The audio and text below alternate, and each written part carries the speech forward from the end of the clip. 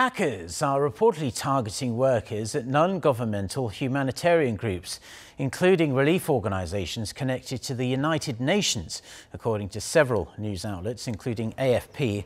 A report released by cybersecurity firm Lookout said a campaign to steal login credentials has been active since early this year.